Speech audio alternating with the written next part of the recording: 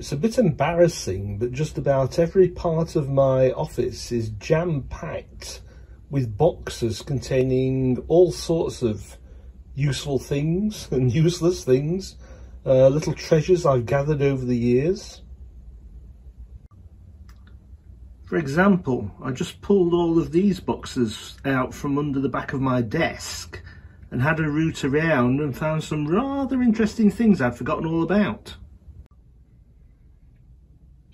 Quite apart from anything else, I found a couple of uh, rather tasty rotary mechanisms from old telephones that I have plans for in the future.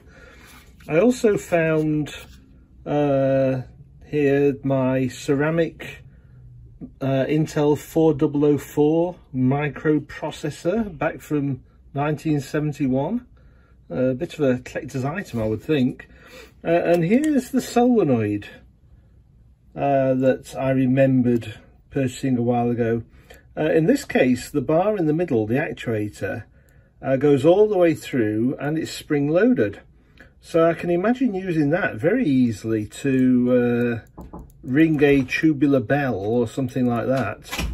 So watch this space for future developments.